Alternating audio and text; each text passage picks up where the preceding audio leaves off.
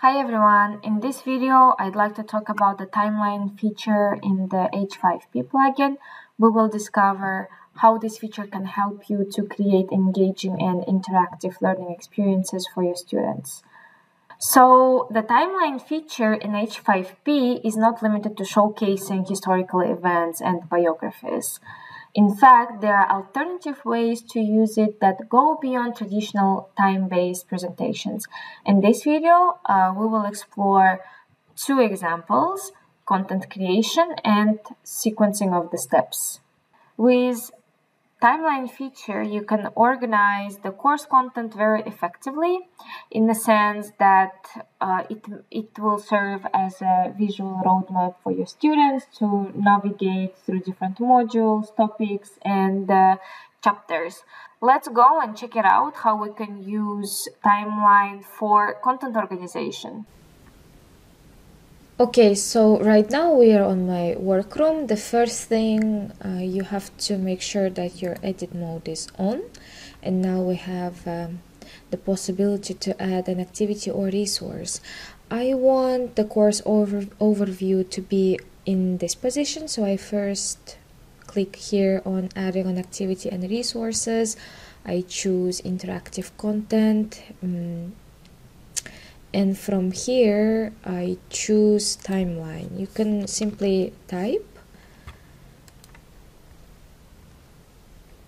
and then I expand the page so I already prepared my course overview in a separate document and there right now I'll be just uh, copying and pasting. Let's start filling the content. So first I'll name it as course overview so as a headline, I'll just type hey there and I'll type my text here. Regarding the default zoom level, I'll show this later on so you will have an idea why do you need that.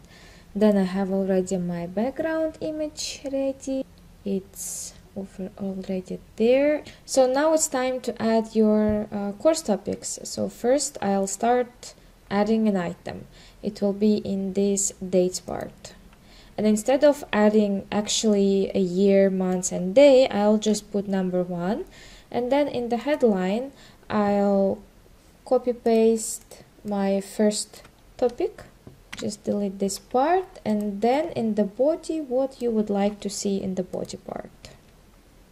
In the next I'm adding another item. I just put number two.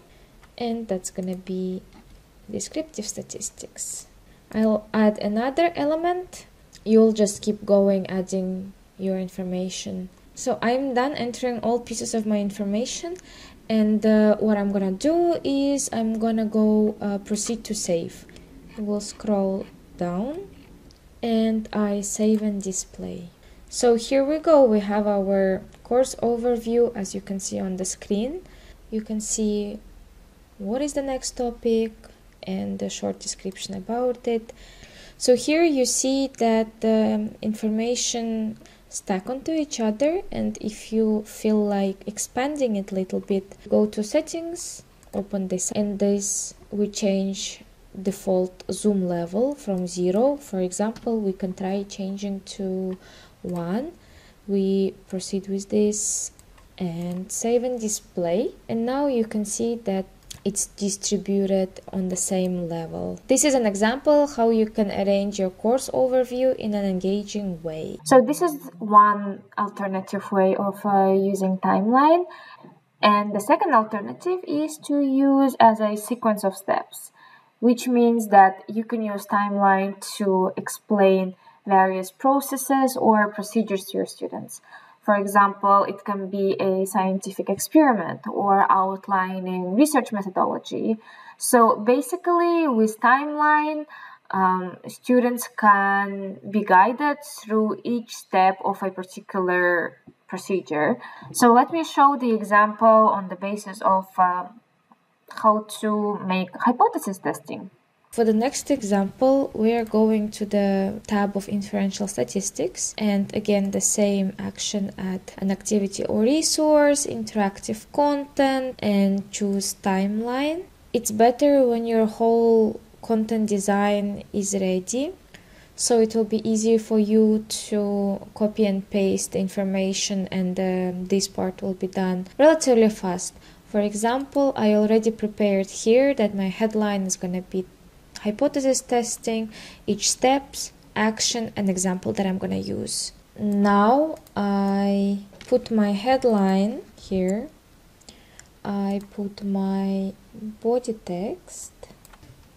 So because I want everything to be in one line, I'll put default zoom level at 1. Now I add my background image, I put it from here and then I just keep uh, going with copying and pasting texts. In the body text I'll talk about action and there will be the part for the action from the example. You can also add media, for example, if you would like to add a link uh, for a video about how to make hypothesis testing from YouTube or any other resources, you can add the media here. And it will look like as following. For example, I want to take this video, I just share the copy the link, I go here, so we put the YouTube video link over here. So we see that the author is the organic chemistry tutor and here I can write as a YouTube channel the organic chemistry tutor. I add the next item. The second step is gonna be setting the significance level. I copy and paste it here. I put the body text as it was before like action. And action involves these steps we keep going as we did with the previous example uh, adding the next steps. So I added the last step. I mentioned everything here and now I'm going to proceed to save. Scrolling down saving and displaying. Voila we see our picture and so with the video you can see that it looks like this so this is how you can arrange sequences of steps in an engaging manner for your students. Besides content organization and sequence of steps, you can also use timeline for project management, uh, progress tracking, geographical exploration. Basically, there are a lot of alternatives to use. The timeline feature is a very flexible tool that may help you to unleash your creativity and tailor it to your specific needs.